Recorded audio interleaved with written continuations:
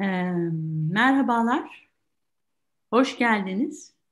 Bu özel, Türkiye'nin özel gününde çok özel bir gündemle buluşmaktan, bu ortamda, bu insanlarla birlikte, burada birlikte karşınızda olmaktan çok çok mutluyum. Çok heyecanlıyım da.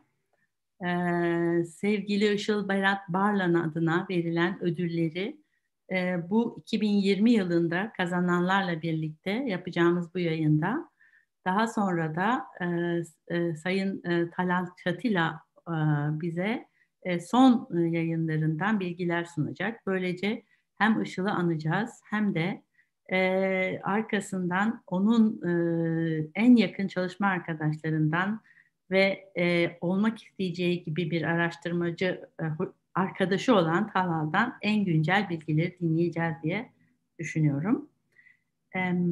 Hemen ben size bir e, pardon ekranımı paylaşmam gerektiğini hatırladım. Sonra hemencecik e, Işıl'ı kısaca anarak başlamak istiyorum. E, ben aslında e, Işıl'ı en yakın arkadaşlarımdan, dostlarımdan biri olarak tanıyorum. Yani immünolojiden önce Işıl'ı tanımıştım. Onun için bugün bu akşam da burada onu anmakla büyük bir onur duyuyorum. Saygı ve özlemle anıyorum. Işıl benim gibi Trabzon'da İskenderpaşa İlkokulu'ndan mezun olduktan sonra 1977'de İstanbul'da Robert Koleji, 1984'te İstanbul Üniversitesi Cerrahpaşa Tıp Fakültesini bitirmişti. Daha sonra Konya Merkez Ana Sağlık Ana Çocuk Sağlığı Merkezi'nde mecbur hizmetini tamamladıktan sonra Marmara Üniversitesi Tıp Fakültesi Pediatride uzmanlık eğitimini tamamladı. 1990-93 yılları arasında pediatriden sonra alerji, immünoloji ve romatoloji yan dal eğitimini Harvard Üniversitesi'nde Children's Hospital'da gerçi sonra yine Marmara Üniversitesi'ne döndü ve kalan e, kariyerini Marmara Üniversitesi'nde tamamladı. 2000 yılında profesörlüğünü aldı ve 2015'e kadar burada çalışmaya devam etti. Işıl'ı ben size daha kişisel özellikleriyle kısaca hatırlatmaya çalışacağım. Çok kısa tutmaya çalışacağım. Çünkü biz aslında Işıl'ı bu akşam mutlaka e, başka özellikleriyle bilimsel olarak kazandırdığı ve yapabilecekleriyle anmak istiyoruz.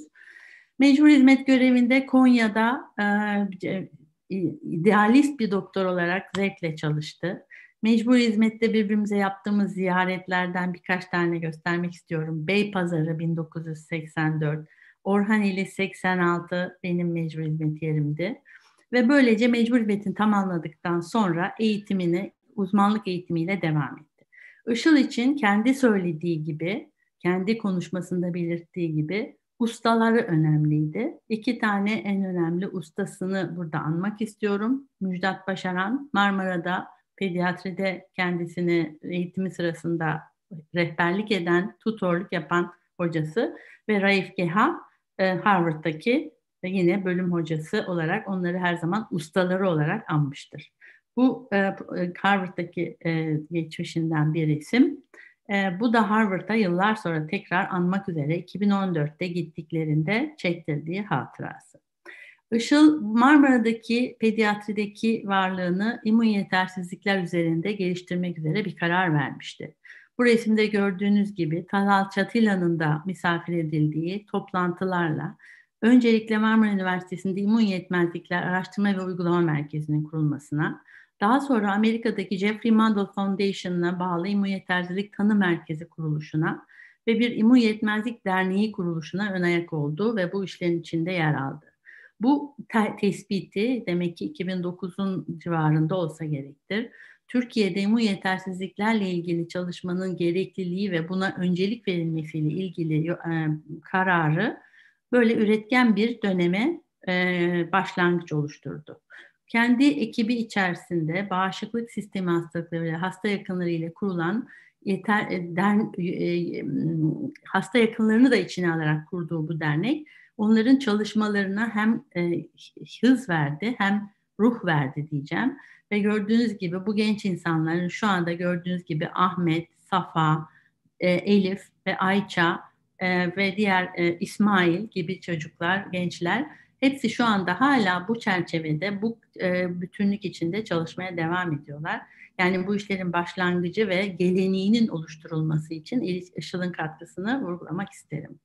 Işıl son e, olarak e, yaptığı bir girişimle de TÜBİTAK, NIH immün yetersizlikleri konusunda bir işbirliği oluşturmak üzere Leonardo ve grubunun işte diğer elemanlarla birlikte TÜBİTAK işbirliğiyle immün yetersizlikler konusunda bir e, öncelikli alan oluşturma çabalarına e, e, katıl, katıldı. Bu e, onun bu konudaki kararlılığının ifadesiydi bana göre. En çok yatırımlı, yatırım yaptığı şey insanlarıydı diye düşünüyorum. Demin söylediğim gibi kendi ekibini oluşturdu ve immün e, yetersizlik alanında diğer e, Yıldız Hoca gibi hocalarla da birlikte çalışmayı çok başarılı bir şekilde sürdürdü. E, yine ekibini göstermek istedim. Çünkü gerçekten bu ekip şu anda Işıl'ın başlattığını düşündüğüm e, yolu çok iyi bir şekilde geliştiriyorlar ve e, varlıklarını sürdürüyorlar. Ve gene gördüğünüz gibi etrafında bu insanları toplamayı başar, başarmış idi Işıl burada çalışırken. Ee, en iyi, en e, değerli çalışmalarını ben burada değerlendirmek istemiyorum. Benim için bu bir uygun bir e, e, değerlendirme olmayacaktır. Fakat şu temel e, özelliğini vurgulamak istiyorum. İyi gözlemler yaparak basit sorularla net cevaplar verebilmek mümkündür anlayışını temsil ederek Örneğin işte var olan bir takım alerji tedavilerinde farklı yolların denenmesi gibi yaklaşımları e, uyguladılar ve bunlar bu bilimin, bu bilim bilim dalının varlığının oluşması için oldukça önemli bir başlangıç niteliğinde idi. E, yönetici kariyeri ana bilim dalı başkanı olarak bölümün ana e, hastanenin ana başhekimiyle birlikte gördüğünüz gibi yoğun işbirliğiyle de onun bu özelliklerini daha iyi geliştirmesini sağladı. Aileye, memlekete, Trabzon'a ve e, işte bizim gibi böyle aile dostlarına olan düşkünlüğünü bu resimde vurgulamak istiyorum. Gerçekten annesi ve kardeşiyle birlikte e, burada yer aldık. Ve kongrelerden bir tane resim koymak istedim. İmmünoloji kongrelerimizde her zaman e, temel immünoloji kongrelerinde yine aramızda hep olmuştu. Son olarak da İmmünoloji Kongresi gene bizi bir araya getirmişti. Ve bu 2014 yılındaki resimle e, Işıl'ın e, özel hayatımızdaki m, varlığı maalesef sonuçlandı diyebilirim. E, oğlunu tanıtmak isterim. Okan'la olan ilişkisi e, çok özeldi. Onun için onu da bir resimle görmenizi istedim. Ee, en son 2014'te Okan'la yaptıkları ziyarette e, Boston'da çekilmiş bu resimler. Gündür Hoca'nın da birlikte olduğu bir seyahat bu. Belki o da söz edecektir. Ve e, birlikte yaptığımız bir başka Fas gezisinde de bu sefer kızıyla birlikte resmini göstermek isterim. Yasemin de onun hayatında çok önemli bir e, e evladı tabii ki. Ee, onunla da bu şekilde bir Fas bir gezisinde bir arada olma şansımız olmuş idi. Bunların hepsi Fas'taki e, bir immün yetmezlik toplantısına bizim eşlik ederek katıldığımız toplantıdan resimlerdi. Günnur ve e, Işıl'la e, son zamanlarda e, böyle güzel günler geçiriyor idik ki e, Işıl o sırada bizi bu noktalardan e, denize doğru terk etti. Bu e, ama bu varlığı Işıl'ın hayatımızdaki varlığının başka bir yöne değiştirerek yani onu anmamız için bir e, olanak sağlayan ve bizi aslında Işıl'ı hatırlatmak için e, sürekli varlığını e, düşünmemiz için bir olanak doğdu bu arada. Ve İmmünoloji Derneği'nin, Türk İmmünoloji Derneği'nin e, gayreti ve Sayın Profesör Talal Çatila'nın desteğiyle 2016 yılından itibaren Işıl Berat Barlan ödülleri e, koyuldu, yerleştirildi, ihsas edildi. E, bu ödüller e, öncelikle primer immün yetersizlikler araştırmalarına yönelik bir ödüllü kapsıyordu. Daha sonra kadın bilim insanı ödülü yine bu çerçevede tanımlanan ödüllerden ikincisi oldu. Daha sonra da bunlara genç bilim insanı ödülü eklendi ve bu şekilde kendisi açısından e, Talal Çatila'nın da e, önceliklerini göz önüne alarak tanımlanan kendi önceliklerini yani Işıl'ın önceliklerini destekleyen ödüller böylece tanımlanmış oldu. Ve o yıldan beri de bu ödülleri e, İmmünoloji Derneği, Türk İmmünoloji Derneği olarak e, bir e, jüri oluşturulup e, değerlendirilmesi yoluyla verilmekte. E, ilk ödül e, İsmail Börüler'e verilmiş idi. E, daha sonra e, 2017'de e, Ulusal İmmünoloji Kongresi kapsamında Safa Barış e, Primer İmmün Yetersizlikler, e, Duygusal Kadın Bilim İnsanı Ödülü ve Başar, e, Baran Erman'da Başarılı Araştırmacı Ödülüne daha layık görülmüşlerdi. 2018'de bu defa Primer İmmün Yetersizlik Ödülünü yine Işıl'ın grubundan Elif Karakoç Aydıner, e, Kadın Bilim İnsanı Ödülüne Esen Şefik ve Genç Bilim İnsanı Ödülüne de Ayça Kıykım layık görüldü. Sonra 2019'da bir kesintimiz var. Fakat 2020 ödülü bugün işte e, onuruna toplandığımız ödüllerin ilanı ve e, ödül alanların m, konuşmalarıyla sürecek. Bu yıl ödüllerimizi Primer İmmün Yetersizlikler Araştırma Ödülünü Sayın Serkan Belkaya, Kadın Bilim İnsanı Ödülünü Ayşe Kılıç ve Genç Bilim İnsanı Ödülünü de Didem Yöğen Ermiş aldılar. Ee, ben şimdi e, bu girişten sonra hemen bu ödülleri takdim etme ve birlikte e, sarılıp kutlama, öpme imkanı olmayacağı için e, bu sahnede bunu görüntüyü kapatıp ödül alan arkadaşlara teker teker bu ortamda söz vererek kendilerine bu ödülle ilgili görüş ve düşüncelerini verme imkanı vereceğiz ve e, bu sayede biz de onları tanıyacağız diye düşünüyorum. E, bu çerçevede ilk olarak Sayın Serkan Belkaya e, sizi tekrar tebrik ediyorum. Başarılarınızın devamını diliyorum ve primer immün yetersizlikler ödülü almanın ne demek olduğunu sizden dinleyelim diyorum. Buyurun. Güher Hocam çok teşekkür ederim. Sunumunuz için de ayrıca teşekkür ederim. E, ben öncelikle değerli hocamız, yakın zamanda kaybettiğimiz değerli hocamız Işıl Barlan'ın anısına ve onuruna verilen bu ödül programı için Türk İmmünoloji Derneği'ne ve eşsiz katkılarından dolayı Talal Çatılay'a teşekkür etmek istiyorum. Ee, beni primer immün yetersizlik araştırmaları üzerine layık gördüğünüz için onur duydum. Bu yüzden çok mutlu ve gururluyum. Ee, kısa bir süre kendimden ve neden e, primer immün yetmezlik üzerine e, araştırma çalıştığımdan ve ilgimden bahsetmek istiyorum.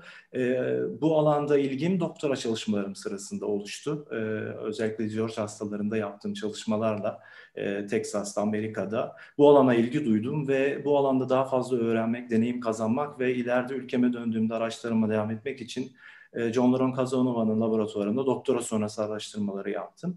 Ee, çalışma alanım olarak, e, spesifik olarak çocukluk çağı ağır e, viral hastalıkların genetiği üzerine çalıştım. Ee, bu süre boyunca yaptığım çalışmaların, yayınların e, ve bu katkıları değerli gördüğünüz için ve bana bu ödülü layık gördüğünüz için tekrar teşekkür ederim. Sonrasında ülkeme döndüm ve Burada kendi laboratuvarımı e, kurup Bilkent Üniversitesi'nde yine e, çocukluk çağı ağır enfeksiyon hastalıkları e, veya enfeksiyöz olmayan inflamatör hastalıkların genetiği üzerine çalışmalarıma devam ediyorum.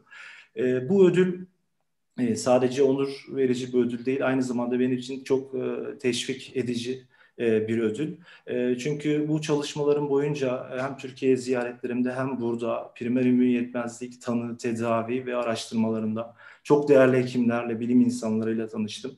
E, ve e, onlara da buradan tekrar teşekkür ediyorum, takdirle e, karşılıyorum ve onlardan biri olmak, e, bu yolda ilerlemek ve ben de ülkemde e, özellikle genetik formlarının çok yaygın olduğu ülkemizde primer ümiyetmezliğinin katkıda bulunmak istiyorum.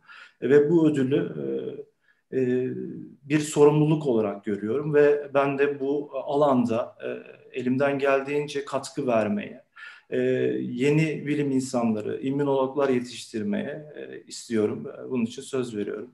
Teşekkür ediyorum tekrar bana süre ayırdığınız için ve ödül verdiğiniz için. Herkesin e, Atatürk'ü anma e, Gençlik ve Spor Bayramı'nı da kutluyorum. Teşekkür ediyorum. Evet, çok teşekkür ederiz Serkan Bey. Bence de e, bayram gününde olması ayrıca güzel bir şey oldu. E, doğrusu immün yetersizlik alanında çalışanların böyle Türkiye'ye gelip bu, bu coşkuyla devam etmesi tabii ki bu iş için çok önemli bir çıkış noktası. Yani çok iyi bir gelişme noktası. Umarım böyle devam etme ve işbirliğini sürdürerek, klinikle işbirliğini sürdürerek bunu yürütme iş, imkanınızı bulursunuz sonuna kadar.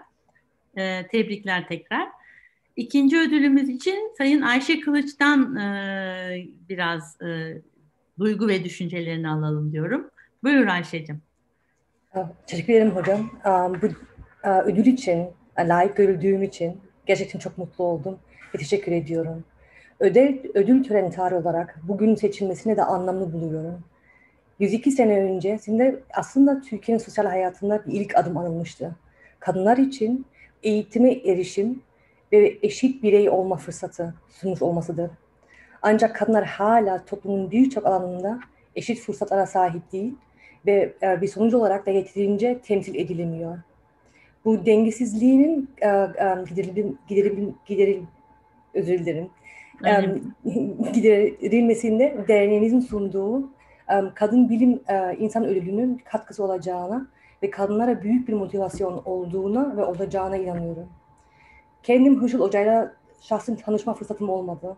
Okuduklarıma göre tıpa olan ilgisini büyük bir hırs ve adılmışlık ile takip etti ve yolculuğunda pek çok genç bilim insanı ve özellikle kadın hekim ve bilim insanlarını etkiledi. Işıl e, Hoca tıp biliminde, e, bölümünde kadınlar için büyük bir rol modeldir. Bu modele göre yaşayabileceğimi, bu girişimi tanıtabileceğimi ve gelecek kuşak bilim insanlarını motive ede, edebileceğimi e, ümit ediyorum. Bu ödül için seçil, seçilmiş olmak gerçekten gurur verici. Bunun için derneğimize bir kez daha teşekkür etmek isterim. Ayrıca desteğinden dolayı Talal Hoca'ya birkaç cümle ayırdım. Talal Hocam, this I, I'll be saying in English. I'd like to thank you for identifying Ushul Hoca as a great role model for women in medicine and sciences in and from Turkey. I'm deeply inspired by your passion in keeping her legacy alive and for your support throughout the years. Thank you. Saygılarımla. Ee, Ayşe Hanım, bir Ayşe Hocam diyeyim artık. Ee, biraz da kendi nerede çalıştığını, ne yaptığını söylersen evet. belki merak Anlatırım. ediyoruz herkes seni. Anlatırım. Ben Almanya'da okudum. Moleküler biyoloji, human biology olarak erken alerji hastalıklarına um, uh, ilgi gördüm. Um, alerji, astım, fare sisteminde.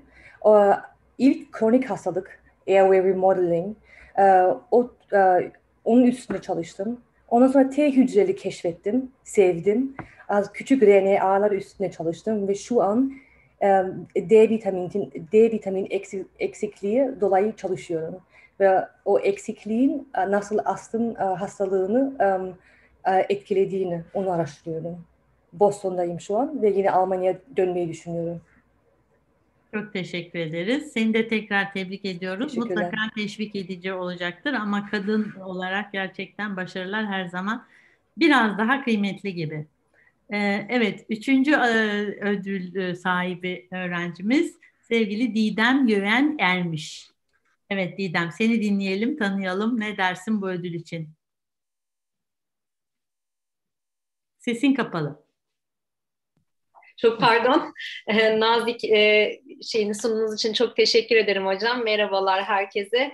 Ee, ben ilk önce hani, Türk İmmünoloji Derneği'ne, Derneği'ne ve e, Profesör Talal Çatılay'a teşekkür ederek başlamak istiyorum. Gerçekten e, hani çok onur duyduğum ve e, layık gördüğünüz için teşekkür ettiğim bir ödül oldu. Gerçekten e, heyecan verici benim için.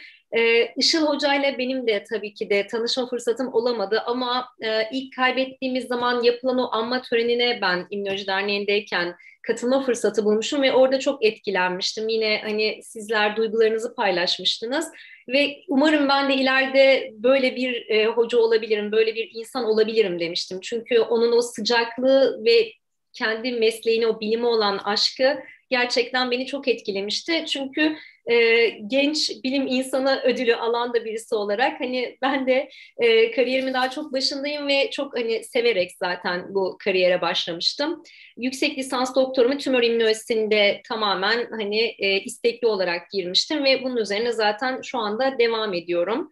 Diğer arkadaşlarım gibi e, hani ben de bir yurt dışına çıkma fırsatım olacaktı ama küçük bir doğum arası girdi bana. O yüzden biraz bu postdoc e, e, şeylerimi ertelemek durumunda kaldım ve e, şu an Barbaros Oral hocamızın, Profesör Barbar Barbaros Oral hocamızın e, departmanında kariyerime devam ediyorum akademisyen olarak.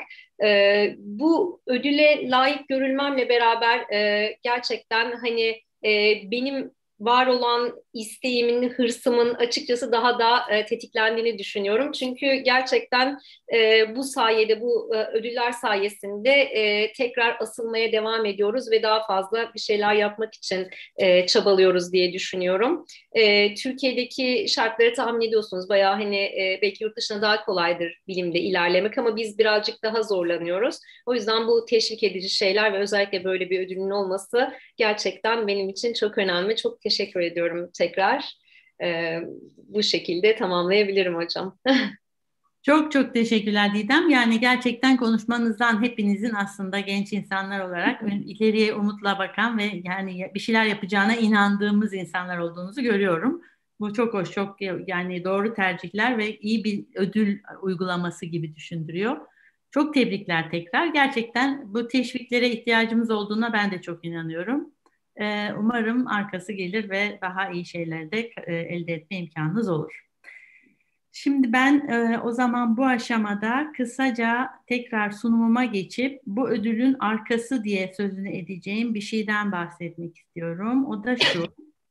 E, bu ödüller tabii ki yine Türk İmmünoloji Derneği'nin desteği ve şey işlev yani Türk İmmünoloji Derneği olarak ve Talat Fethi'nin desteğiyle sürecek. 2021 ee, ödülleri şu anda e, başvuruları topluyor. Yine üç tane ödülümüz var. Burada görüldüğü gibi kadın, e, primer immün yetersizlik ve e, genç immün, genç araştırmacı ödülleri aynı ödüller devam edecek. Ve bu defa ödüller daha da uluslararası bir nitelik kazanacağını umduğumuz şekilde Avrupa İmmünoloji Kongresi, 6. Avrupa İmmünoloji Kongresi kapsamında bir dört e, Eylül'de yapılacak olan kongrede açıklanacak ve başvurular şu anda açık. E, şu altta görülen e, e-mail üzerinden başvurularınızı yapabilir izleyenler biz diye şimdiden duyuralım. Ayrıca bu her zaman Debrek Derneği sayfasında ve başka yerlerde de olacaktır. Ama bu ödülün devamlılığı önemli gerçekten devamlılığı da sizlerin bu ödülle yani hepimizin bu ödülle gerçekten hayatında bir yer vermesiyle mümkün olacak herhalde. E, bu bölümü bu şekilde kapatacağız ve şimdi e, Sayın Talan Çatila'yı e, konuşmacı olarak davet edeceğim ama onu davet etmeden önce de e, tabii biraz tanıtmamda yarar var. E, Talal Çatila, e, Işıl'ın yani ifadesiyle Talal, benim de uzun zaman önceden tanıdığım biri. Buradan sonrasında tabii biraz İngilizce yapmamda yarar var. Kendisiyle ilgili bilgileri bana göndermişti. Talaş Etila, Danish David Burning Professor of Pediatrics in the field of allergy and immunology at the Harvard Medical School. And he also has the, is the director of the Food and Allergy Program at Boston's Hospital, Boston Children's Hospital. Uh, Talal has studied medicine in American University of Beirut. Then he has made some time, spent some time in the internal medicine in Beirut again, and then moved to US uh, where he had the immunology uh, uh, program, has been in the immunology program in the Children's Hospital again, and then has also finished the pediatrics and started to work at the Harvard Medical School uh, in pediatrics. Uh, and I think they have met with Işıl when they were uh, working at the same department at that time. I have also realized that actually Talal Chatila will be holding the uh, uh, a, a, memorial lecture, lectureship, uh, lectureship award in 2021 in the American Association of Allergy, Asthma and Immunology Foundation. And um, sorry. Talal Chatila's uh, research is mainly in, uh, involves the mechanisms uh, that is involved in the breakdown of immune tolerance with a focus of regulatory T cells.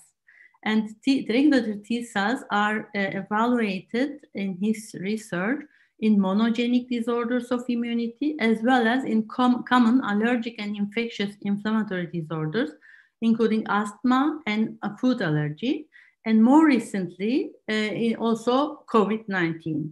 Uh, staying in the T regulatory, uh, T regulatory cells area, he will be actually presenting the work, I think, on COVID today.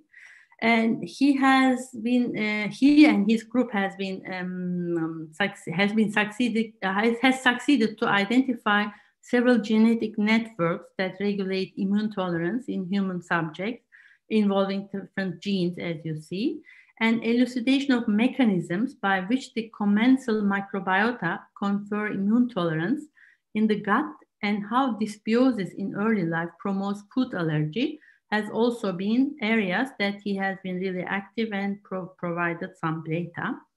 Uh, the group uh, has established the role of pathogenic reprogramming of regulatory T cells in uh, precipitating tolerance, uh, breakdown in allergic and uh, um, precipitating tolerance breakdown in allergic, infectious, and autoimmune diseases and uh, it, they have also uh, established means of resetting their function by genetic, metabolic, and functional interventions.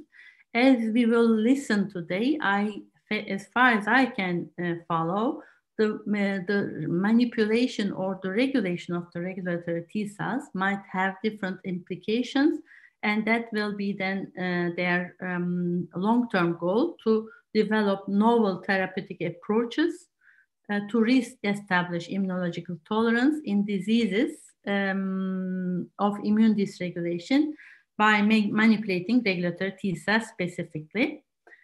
So uh, actually uh, that uh, I prefer to give some uh, more detail uh, that maybe now I can stop and I can now give the word to Talal. Talal, I'm so happy that you had the chance to be with us tonight and I am looking forward to listen to your talk and remembering to those days. Thank you.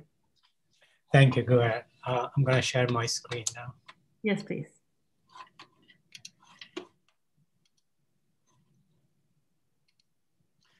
First, I would like to thank uh, the Turkish Society of Immunology for sponsoring the Işıl uh, Berat Barlan Awards in Immunology. I would like to congratulate the winners of this cycle. All of them are very promising and successful young investigators, something that I'm very of happy about and very proud of. Uh, I have been asked by Güher and her colleagues to speak today about immune regulation in COVID-19, which is a subject that we have been recently working on uh, in the context of international collaborations we've had with several groups, most notably with uh, groups in Turkey relevant to our research. I will highlight these uh, investigations and collaborations and also point to the different individuals who have contributed to those works. First, though, I would like to uh, uh, pay tribute to our commemoree uh, Dr. Işıl Berat Barlan, um, for whom this uh, lecture and this session is dedicated. Uh, has been um, much uh, described by uh, Güher in her introduction. I have a couple of slides only to add to what she has described. And uh, one picture that uh, Safa Barış has, uh, my colleague Safa Barış at Marmara University has shared with me, uh, is relevant to her mentorship under Müjdat Başaran. Here she is in the middle, standing next to Müjdat.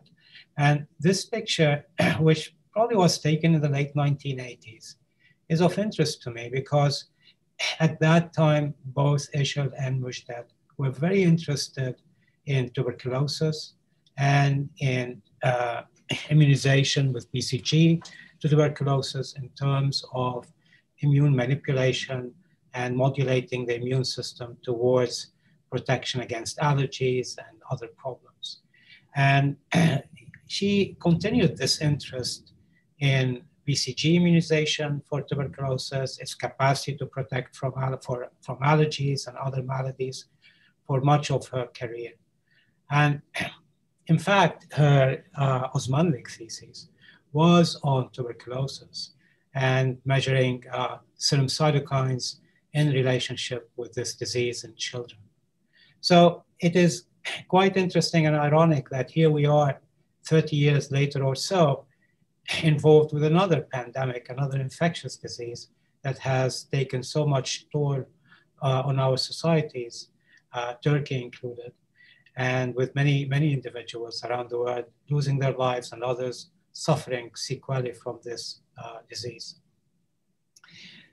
COVID 19, like many diseases caused by pandemic pathogens, is uh, largely related to tissue damage caused by immune dysregulation, meaning many, if not most, of the disease damage and death and suffering that takes place is related to inappropriate immune response triggered by these pathogens, including SARS CoV 2, the virus that mediates COVID 19 pathology.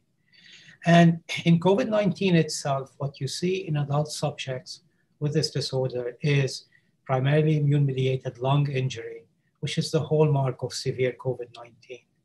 And both the innate and the adaptive immune responses contribute to this tissue injury, uh, with particularly prominent roles for cytokines such as interleukin 6, which, uh, as I would mention in my talk, seem to uh, sort of activate or particularly involved in uh, specific pathogenic uh, functions.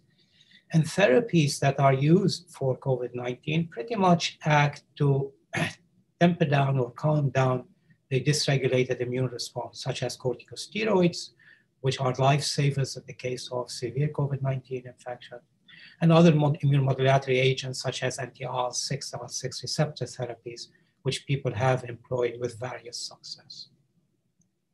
So this is a crowded slide and it only tells you how much immune activation takes place uh, with the onset of infection by the SARS-CoV-2 virus.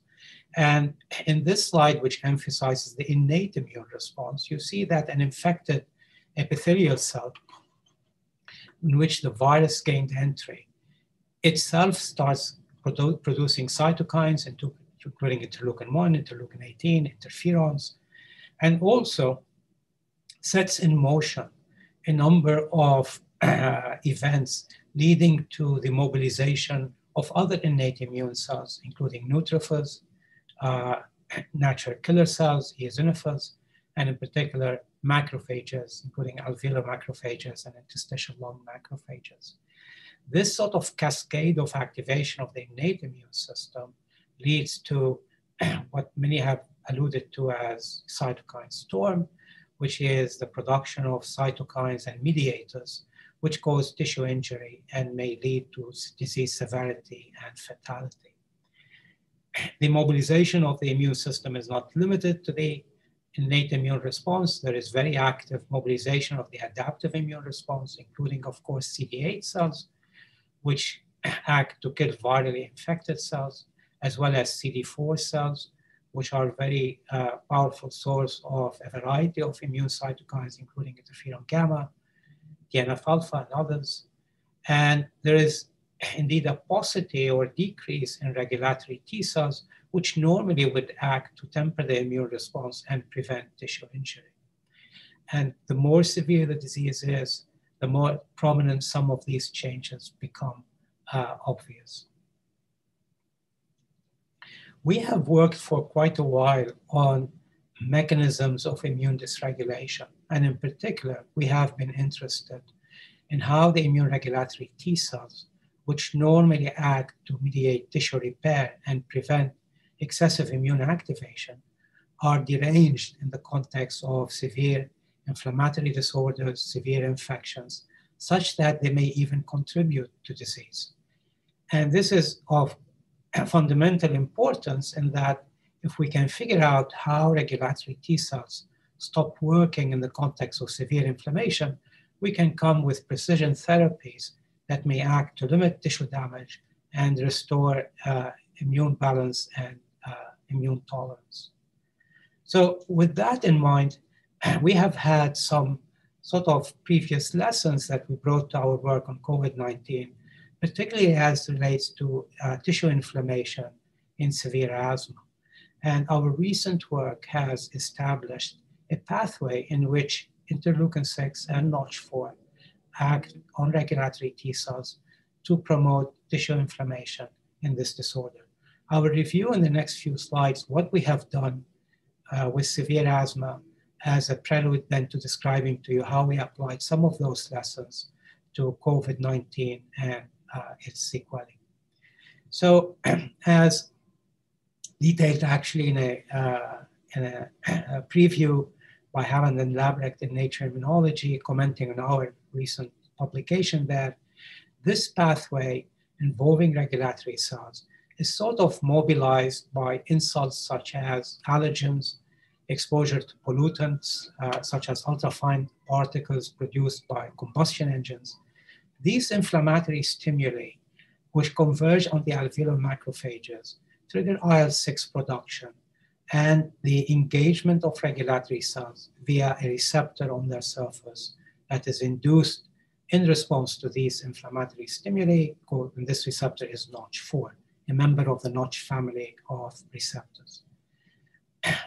Once expressed on regulatory T cells, Notch4 acts via downstream pathways, including in the case of asthma, the Hippo pathway and the Wnt pathway, to mobilize Th2 and Th17 cell responses in the tissue, giving flavors to allergic inflammation, the Th2 cell response, and sort of more inflammatory neutrophilic inflammation, the Th17 cell response.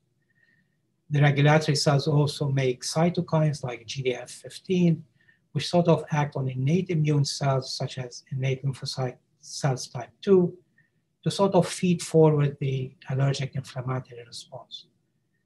These strong pathways set in motion lead to a robust inflammation which in severe asthma can be persistent and can lead to uh, long-term uh, uh, tissue remodeling and ultimately damage. And if we look at the peripheral blood of human subjects with severe asthma, what we found is that the expression of Notch4 on the regulatory cells in circulation varies as a function of disease severity. So, you know, going from healthy control subjects with no asthma looking at the regulatory cell expression of Notch4, which is the receptor I described to you, which mobilizes these inflammatory response in the lungs, the more severe the asthma, the more pronounced the expression of Notch4 on the regulatory cells. And you can measure that actually in terms of frequencies of regulatory cells in the airway and, uh, and in the peripheral blood. And you can also measure that in terms of the level of expression of Notch4 on these regulatory cells was called mean fluorescence intensity, a measure of the level of expression of this protein on the regulatory cells.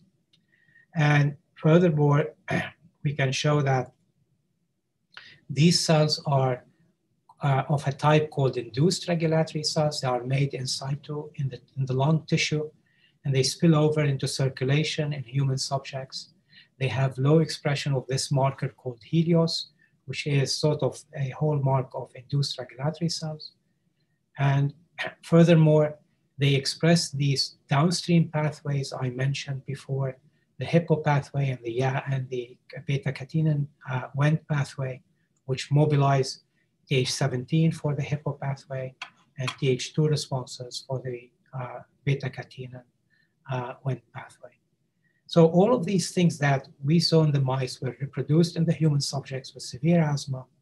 And importantly, you can see that the regulatory cells of normal subjects that are shown here, their action is shown in black triangles, which are able to suppress the multiplication of immune cells in vitro in the test tube, are actually less able to do the once they are expressing Notch4, as seen now in the, in the yeah, red circles if you choose cells that have low Notch4 expression from the asthmatics, these cells suppress fine.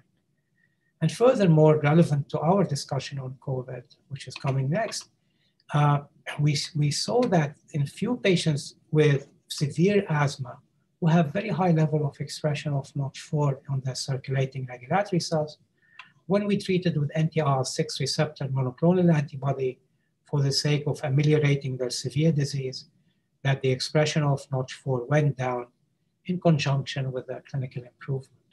So this told us that this pathway is very sort of dependent on IL-6 uh, signaling and may be operative in uh, lung uh, tissue inflammatory disorders, something that made us interested to, uh, to study this pathway in COVID-19 because of some associations that again I will describe in relationship of COVID-19 and, and IL-6 and other cytokines.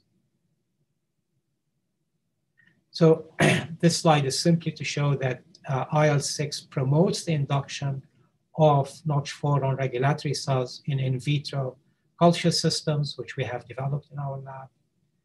And moving on to uh, uh, COVID-19, much has been described and much and many many articles have been described about the immune inflammation and immune dysregulation in this disorder pursuant to infection with SARS-CoV-2, the virus. I've showed you in previous slides how the uh, infection mobilizes innate and adaptive immune responses. And critical to the pathology in COVID-19 was the observation reported by several groups that interleukin 6 is inordinately increased in this disease as a function of disease severity, and that it may contribute to disease pathology, which again made us interested to understand then the role of the Notch4 pathway and IL-6 in this disorder. And to study uh, this relationship, we mobilized an international collaboration with colleagues both here in Boston uh, with Peggy Lay at the Mass General Hospital, together with her colleague, uh, Raffaele De Palma at University of Genoa and his colleagues, and of course, uh, your own Gunur Deniz and her colleagues at Marmara, uh, at uh, uh, Istanbul University with Ayça Kikim at General Pasha. So with these dear colleagues, we asked the question of what is the status of immune regulation in COVID-19 subjects as a function of disease severity, and what are the regulatory cells doing in this disorder. And we examined the expression on regulatory cells of Notch4, similar to what we did in asthma. And what we're doing here, we're doing flow cytometric analysis in which we take peripheral blood from these patients and stain the cells with Notch4 to check for the expression of this receptor and for FOXP3, which is a marker of regulatory cells. And as you see, you have increased expression of Notch4 on regulatory cells in COVID-19 as a function of disease severity, such as patients with severe COVID-19 have a high percentage of their regulatory cells in circulation expressing Notch4. This expression sort of goes away when the patients convalesce or recover from disease. Furthermore, you can quantitate that and you see this stepwise increase in Notch4 on regulatory cells uh, as a function of disease severity. And you can see also increased expression by so-called mean fluorescence intensity uh, expression of Notch4 on the regulatory cells, again, as a function of disease severity. If you look at the non-regulatory cells, or as was what we call the conventional T cells, both CD4 and CD8, here's the example of CD4. There is very little increase or change in the expression of Notch4 on these cells as a function of disease severity. And if you look at the level of expression of Notch4 on these conventional cells, it's around the log less than what you see in regulatory cells. So the conclusion was that Notch4 indeed is expressed in COVID-19 subjects as a function of disease severity on the regulatory cells, but not really much in terms of other cells. And that this correlation with disease severity suggested to us that maybe it is contributing to disease pathogenesis, to the tissue injury that's taking place in the lung. And so we had this hypothesis is that Notch4 expression on regulatory cells sort of changes the function of these cells, such as it promotes immune dysregulation and pathogenicity. And that if we are able to block Notch4, we can ameliorate uh, the tissue injury in this disorder and restore tissue healing and promote recovery. So this sort of was the, our working hypothesis. And to study that in sort of uh, in experimental setups, we resorted to mouse models of viral inflammation and infection. In the first model, we inst instilled intratracheally but also intranasally polyinosine uh, cytosine, which is sort of a, uh, a proxy of messenger RNA, similar to what you see with viral infection. And if you add this uh, inflammatory stimulus in intratracheally or intranasally in the mice once a day for a few days, you end up setting lung inflammation that can be quite severe. And you can see that actually uh, in terms of both the expression of Notch4 on the regulatory cells and the lungs of these mice, such as by day seven, post this uh, regimen of poly-IC installation, up to half of the regulatory cells in the lung can express uh, Notch4. This expression, which is quite steep and quite profound, was associated with profound weight loss, such as the mice lost anywhere up to 15% of their weight over the, over the course of this regimen of seven-day uh, poly-IC treatment. Remarkably, if you block Notch4 using an antibody to this protein, so treat the mice with an antibody to the Notch4, or if you genetically remove the expression of Notch4 in the regulatory cell by deleting the Notch4 gene in those cells specifically, but not any other cell, you completely abrogate the uh, weight loss in these mice. And what you see is that if you look at markers of innate immune activation, such as neutrophils, which go in big numbers into the lung with the poly-IC treatment, that this mobilization of the neutrophils is much abrogated upon treatment with the anti-Notch4 antibody or removing the gene for Notch4. The macrophages, which are activated in, with poly-IC treatment, that is reversed with uh, Notch4 uh, antagonism. The M2 macrophages, which are anti-inflammatory, are restored or are increased in numbers. So Notch4 inhibition was able to abrogate or greatly ameliorate disease caused by poly-IC, which is a proxy for viral infection with SARS-CoV-2 or influenza or similar viruses. Our second model was to go directly to a virus. We couldn't do uh, SARS-CoV-2 uh, itself because it requires what's called a biosafety level three containment facility, which was not available to us at the time. So we used an influenza model. Before actually I go to the influenza model, I just want to point out that the regulatory cells that uh, are coming out of the poly-IC treated mice have high expression of this IL-6 receptor alpha chain, again, make, making them conducive to response to IL-6 and induction of Notch4.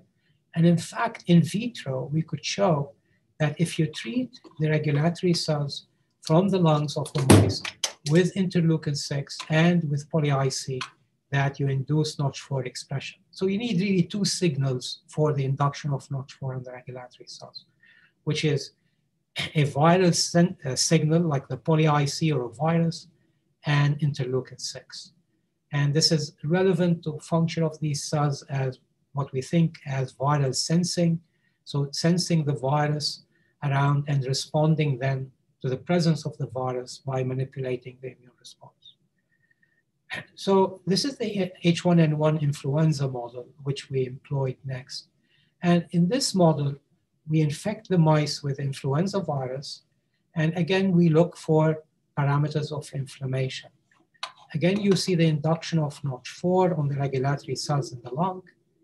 You see uh, the weight loss in these mice following the infection. And in fact, you see death in the mice relevant to the infection.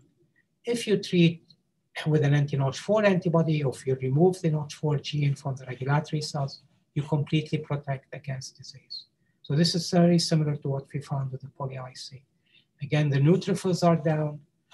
You get uh, less uh, neutrophil influx into the lungs, which can cause tissue injury in the lung. The macrophages, uh, especially the uh, anti-inflammatory macrophages are increased in the lung, again suggesting that the function of NOT4 inhibition is to promote uh, uh, less inflammation and more recovery from the disease. We actually did a humanized mouse model where we took uh, mice that are immune deficient, they don't have an immune system, repopulated them with a human immune cells, and then infected these mice with the H1N1 influenza model. And using antibodies to the human Notch4, such as this one in green, you can show that compared to the black circles, which are the mice that received sham antibody treatment with a non-specific antibody, that treatment with this anti-Notch4 antibody protected against disease. A second antibody was a bit less effective, but still protective against disease shown in red circles. So different antibodies can protect against H1N1 influenza infection in humanized mice. And if you look at the tissue pathology, you can see that the inflammation that you get with H1N1 is really abrogated with this antibody, a little bit less with the uh, second antibody, the 3B11 uh, again consistent with protection from inflammation by Notch4 antagonism. And if you look at things like macrophage, uh, uh, M2 macrophage uh, induction, neutrophil mobilizations, all of these markers are reversed in the right direction. So you have less neutrophils in the airway, less interleukin 6, more anti-inflammatory macrophages, M2 macrophages in the, uh, in the airways. Remarkably, all these actions of anti-Notch4 therapy take place without affecting the amount of virus in the airway. So it's not like Notch4 treatment increases the virus. Actually, if, any, if anything, it's a little bit less as compared to control infections treated with sham antibody. So this therapy doesn't seem to affect the load of the virus, but seems to manipulate or ameliorate the severity of the immune response to the viral infection. So we tried to, to find like what's happening in terms of a mechanism. How is Notch4 antagonism promoting uh, tissue healing and recovery? And when we looked at the gene expression in the regulatory cells of the mice infected with H1N1 or treated with poly-IC, in this case, this is the poly-IC treatment, you find that the cells that are um, taken from mice that have Notch4 expression, that have the severe inflammation, are very activated. So they're, they're super activated like immune regulatory cells. But somehow they're still not able to control the tissue injury and the inflammation. Again, if you look at the level of expression of these genes that are, these are very well known genes to those who work with regulatory cells, you would find that these genes are increased, if anything. There was a lot of viral signaling in the regulatory cells, you know, again, alluding to the fact that the regulatory cells were sensing the virus and reacting to the virus by inducing the expression of genes we normally associate with viral sensing and activation, such as you see in macrophages and dendritic cells. So the cells were seeing this viral signal we're getting activated, but we're not able to control the inflammation. And what we were able to determine is that what the, the real switch that was taking place in the regulatory cells was that they were not able to produce amphiregulin, which is a cytokine that has previously been described to promote tissue healing and repair in the lung, produced by the regulatory cells under steady state condition with the infection with H1N1 or with poly-IC treatment, the um, uh, regulatory cells were not able to increase the expression of amphiregulin. Once we inhibited Notch4 expression, amphiregulin expression went up, and this was associated with the recovery of the mice from the severe inflammation. So there is this inverse relationship that appeared between the capacity of the regulatory cells to make amphiregulin and their function in combating tissue inflammation. The more amphiregulin they make, they, the better they are in combating inflammation. The more Notch4 they express, the less amphiregulin they made, and the more they had inflammation. So if we look at amphiregulin expression on regulatory cells, you will find that the cells that did not express Notch4 had higher amphiregulin expression, again conducive to tissue healing. The cells that had high Notch4 expression made less amphiregulin. And so this was conducive to tissue inflammation.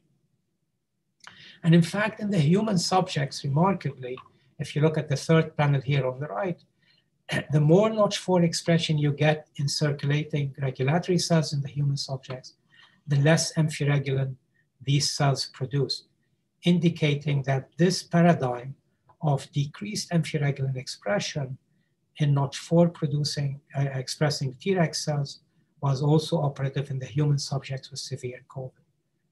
Again, the more Notch4 you had, the less amphiregulin these cells produced and the less tissue repair they were able to uh, uh, contribute to.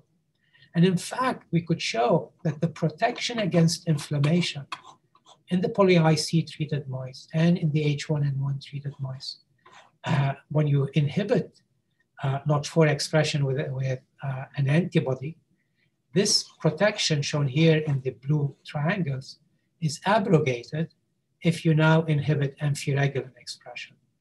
So the protection that you gain from inhibiting Notch4 is dependent on amphiregulin production. And you can show again the different markers of inflammation, the macrophages, the neutrophils, uh, all of these tracked with the capacity of the regulatory cells to produce amphiregulin. Reciprocally, if you take mice that are treated with poly-IC, shown here in the black circles, which lo lose weight, get loss of inflammation, get loss of Notch4 expression. If you treat them with amphiregulin, you protect them against weight loss and against inflammation. So you Notch4 regulates amphiregulin, it inhibits its expression. Amphiregulin is important for tissue repair. You can treat the mice either by inhibiting Notch4 or by giving back amphiregulin. And this is sort of the paradigm that we arrived at. And how was this happening? How were how was Notch4 sort of inhibiting the regulatory cells from making uh, amphiregulin? So based on previous studies by Arpaia and Rudensky and their colleagues, we knew that interleukin 18, a cytokine that was induced in the lungs of, uh, in the inflamed lungs of virally infected mice, and we know it's also induced in human subjects with COVID and related infection. IL-18 can act to sort of as a feedback to upregulate amphiregulin expression in the regulatory cells, but that notch 4 would inhibit the function of IL-18 in upregulating amphiregulin expression. So notch 4 decrease the expression of IL-18 receptor on the regulatory cells, and also it, it inhibited Notch4, inhibited the capacity of regulatory cells to make amphiregulin. If you, if you stop the expression of Notch4 by adding anti-Notch4 monoclonal antibody, the production of amphiregulin in vitro goes up.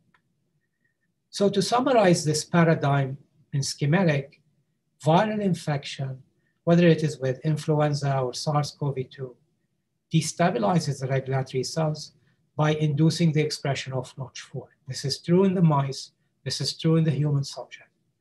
And that amphiregulin, which normally acts at steady state to promote tissue healing, is now produced less in these regulatory cells, leading then to tissue inflammation, more, more extreme tissue inflammation, and less tissue healing. And we could show that if you block Notch4, you will have more amphiregulin expression, and you will shift the tide back towards tissue tolerance and less inflammation in the area. So this, this work, which was recently published in Immunity, was sort of spearheaded in our lab by Hani Harb and Mehdi bin Ammar.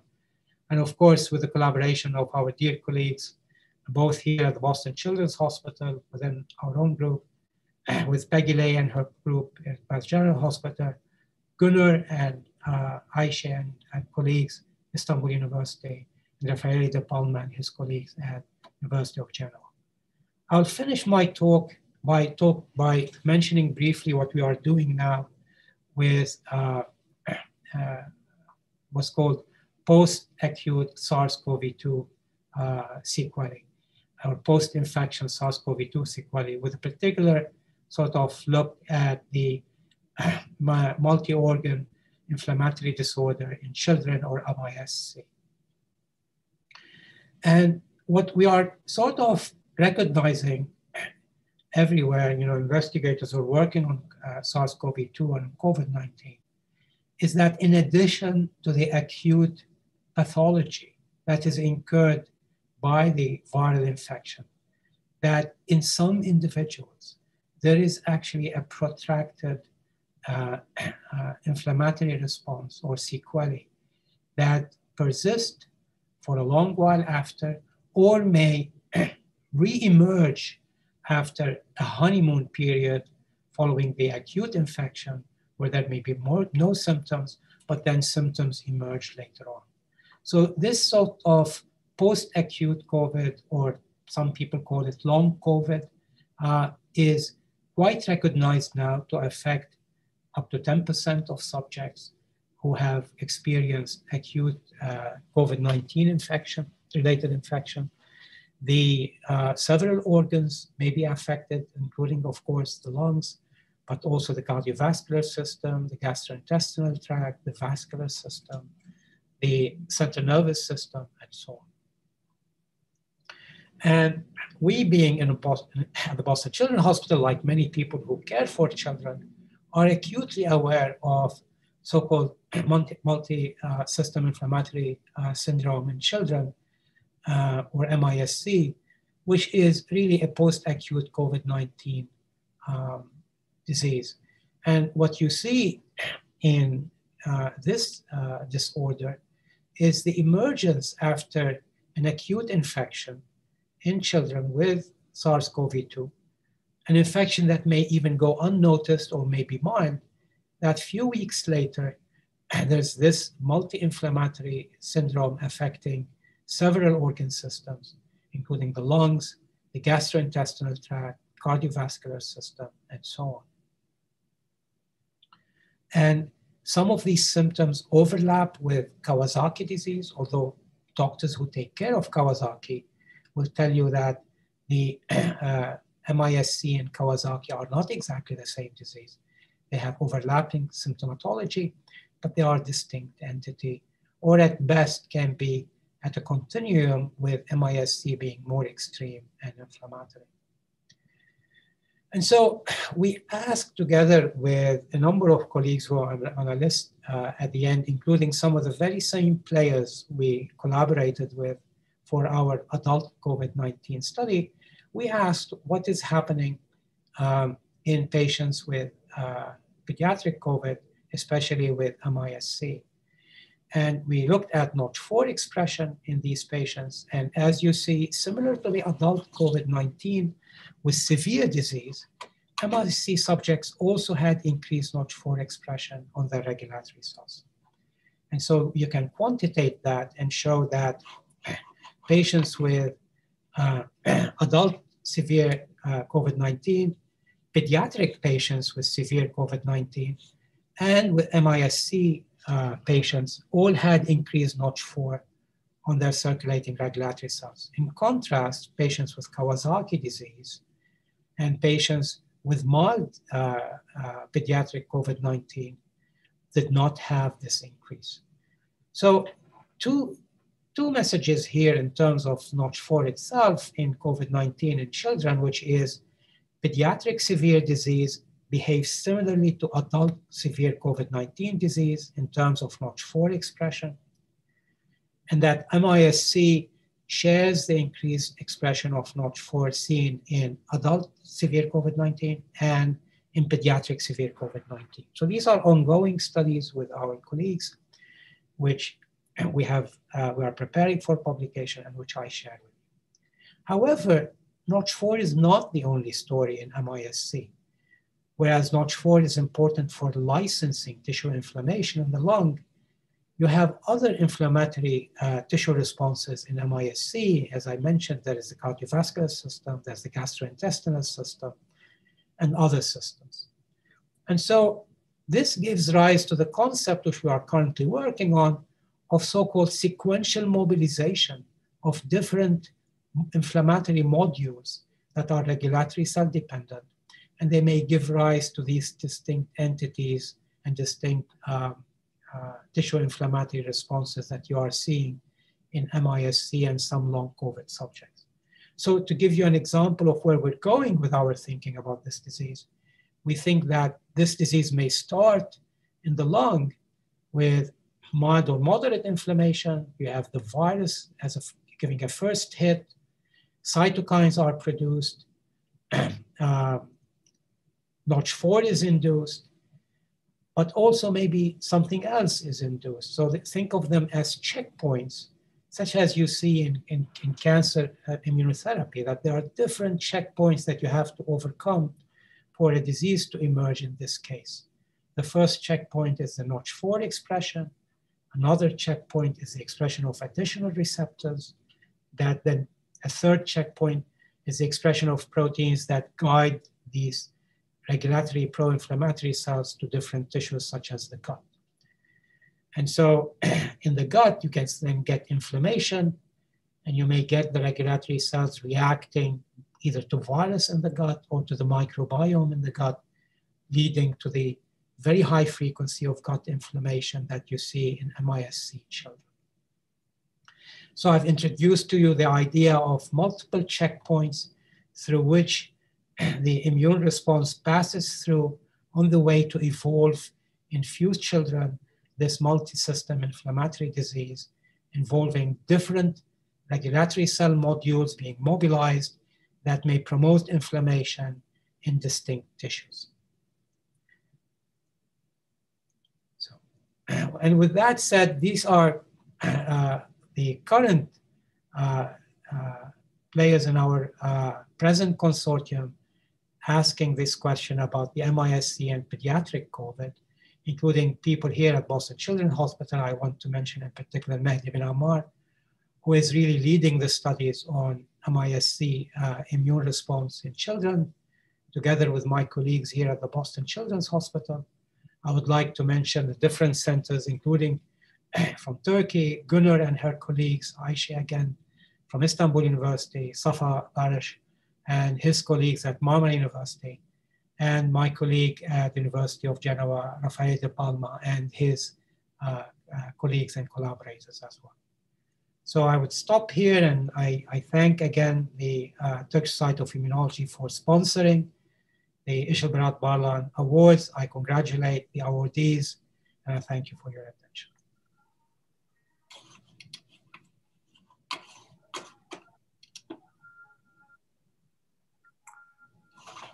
Thank you very, very much, Talal. That was a wonderful uh, talk. I was very much Im Im impressed of the data and all the knowns are getting unknown for me again. The Tregs are more like effector cells instead of being regulatory cells. Uh, and the, there are so many data different diseases that you have shown us. It's unbelievable. Uh, I uh, think we will have questions uh, and I will get them uh, uh, by, from here. But before I take the questions, if I can ask a few things that I just came to my mind. Uh, I wonder what is the ligand for Notch4? What is it for? Do, do we know any kind of, of function of Notch4 in the normal situation?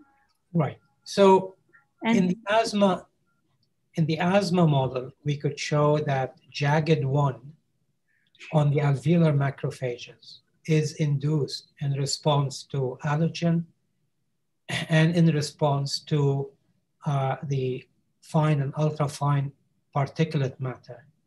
You know, these, you know, particles that you that people talk about that are emitted from combustion engines, especially diesel engines, but also even regular car engines.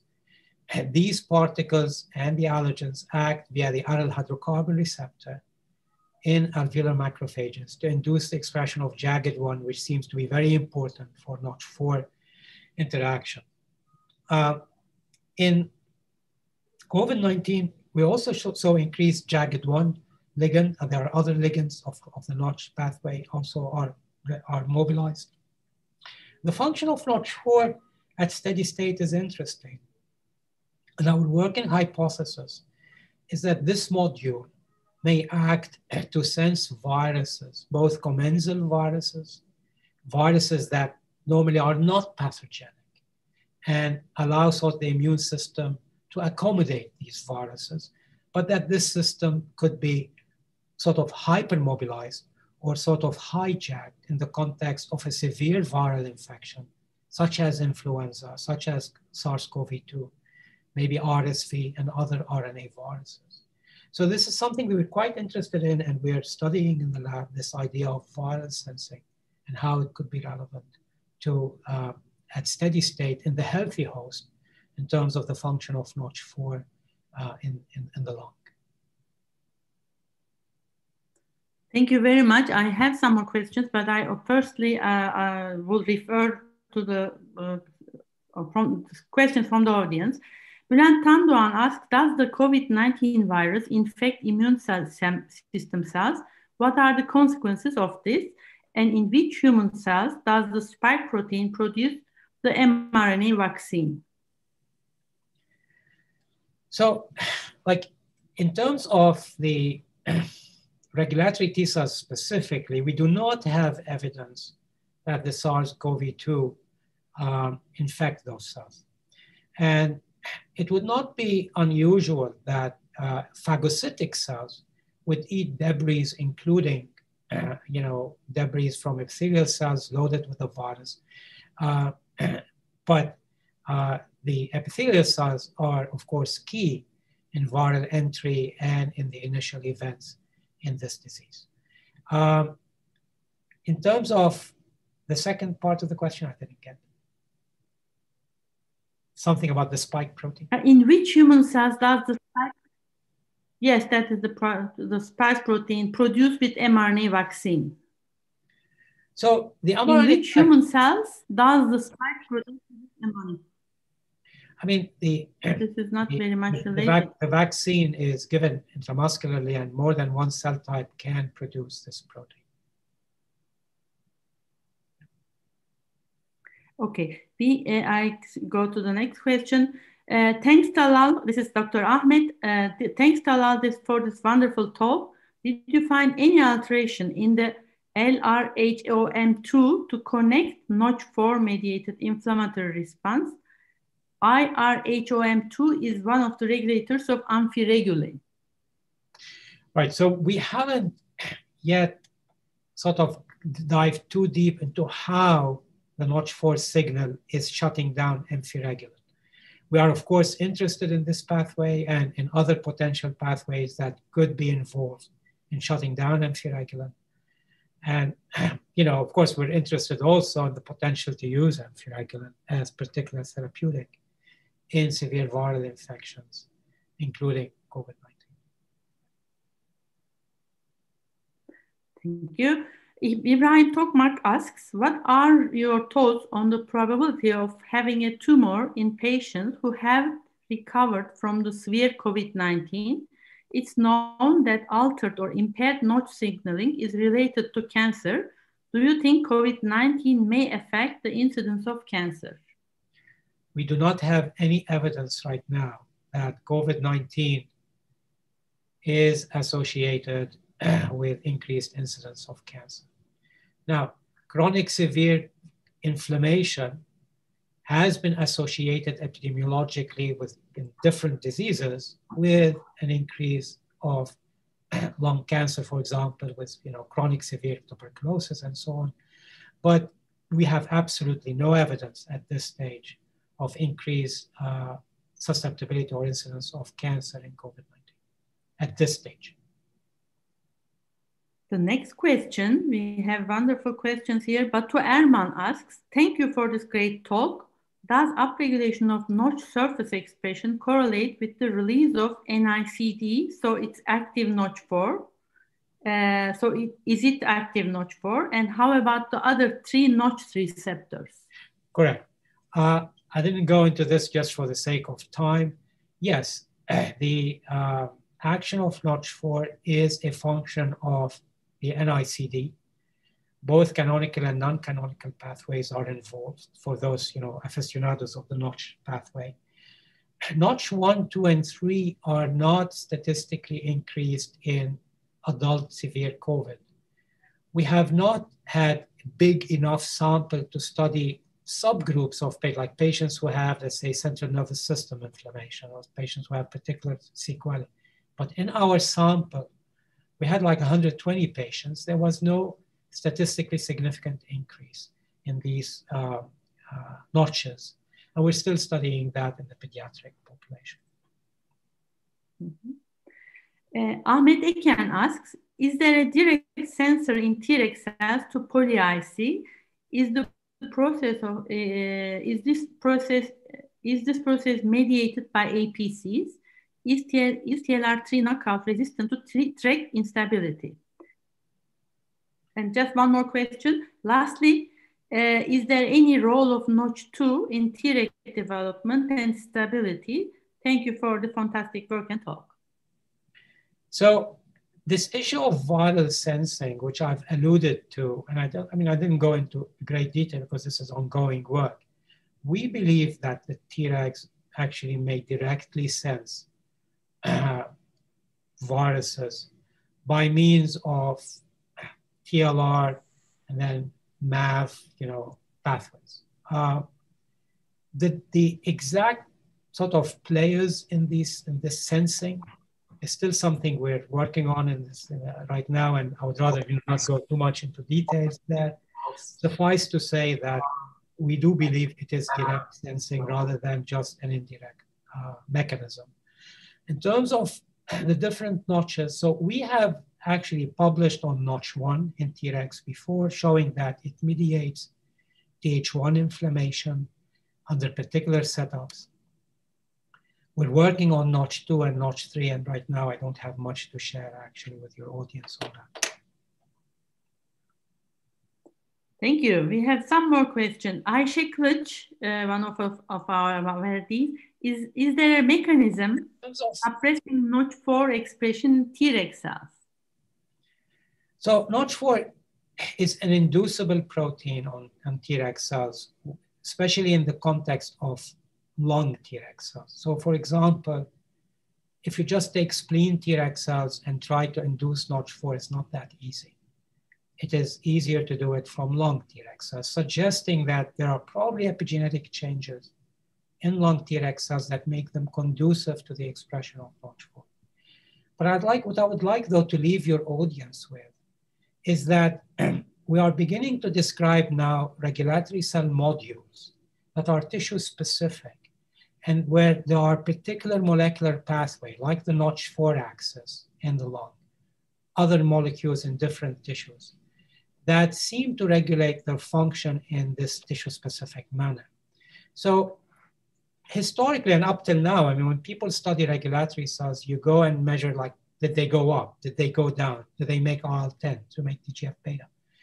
And I think what I'm trying to sort of convey to your audience that there is a, there's even more sophisticated and subtle ways by which regulatory cells can manipulate the immune response, involving tissue-specific mechanisms and mechanisms responsive to infections and to particular stimuli.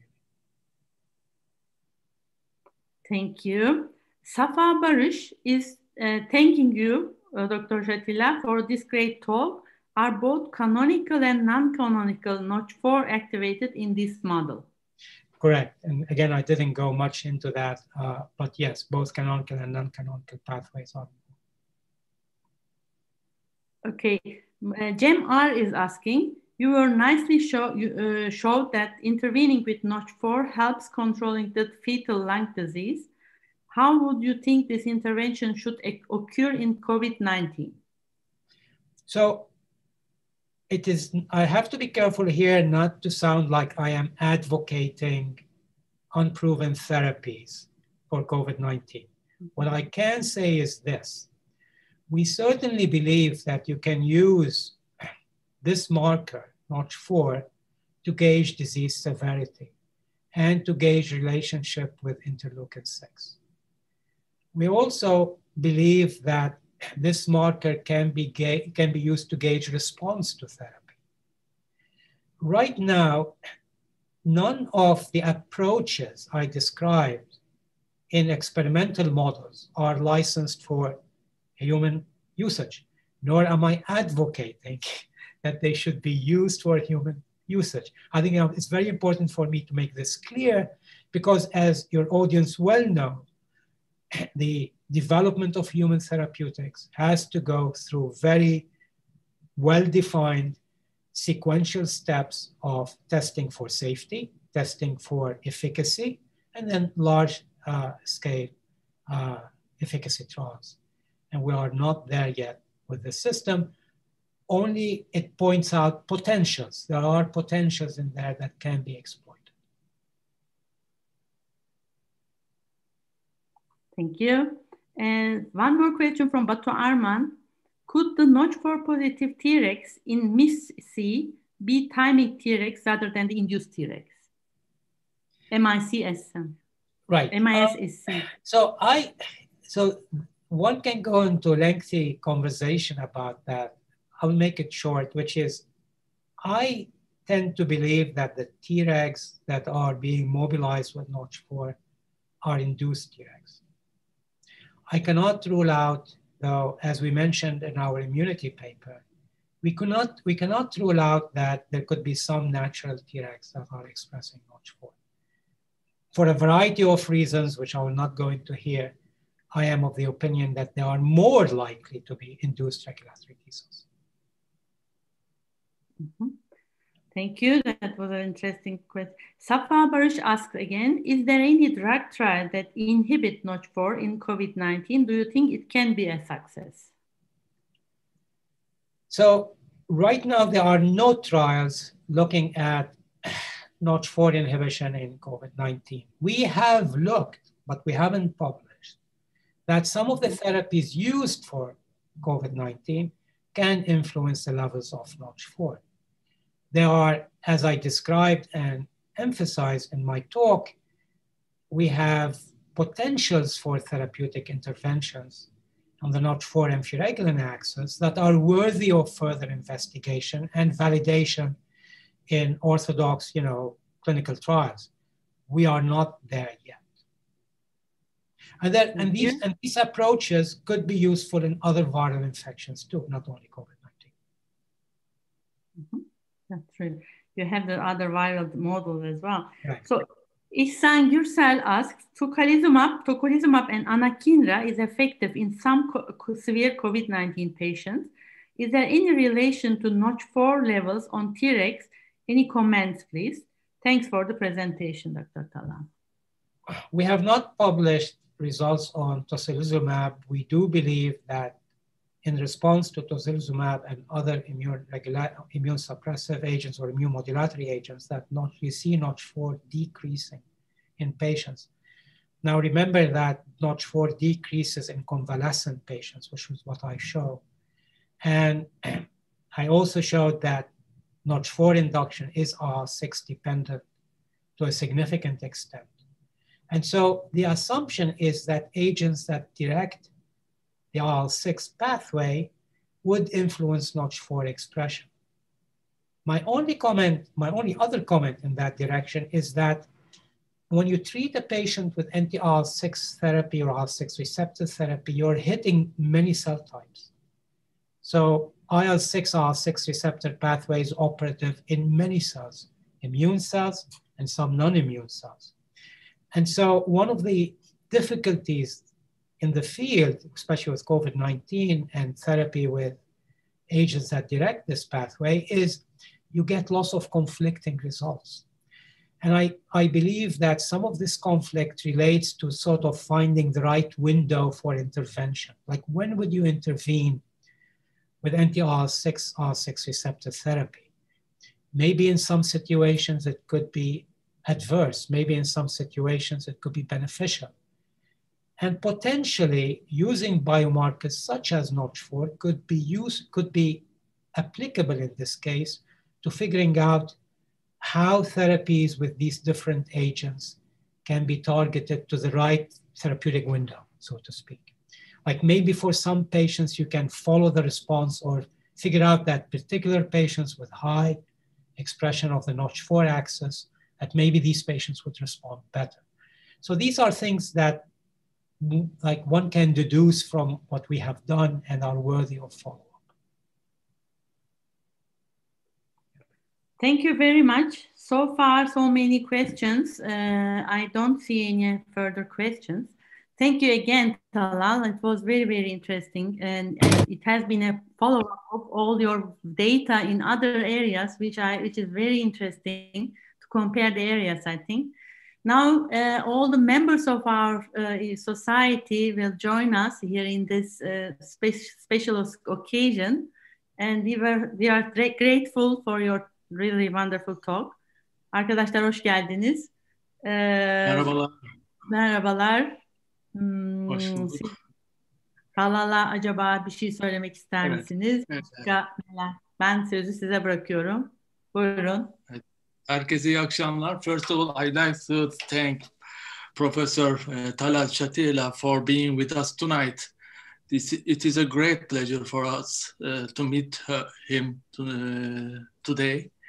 And also, I'd like to thank uh, Talal Shatila for support, supporting this award dedicated to our dearest uh, Ushil Barlan. I, I, am sure uh, she's seeing us uh, now.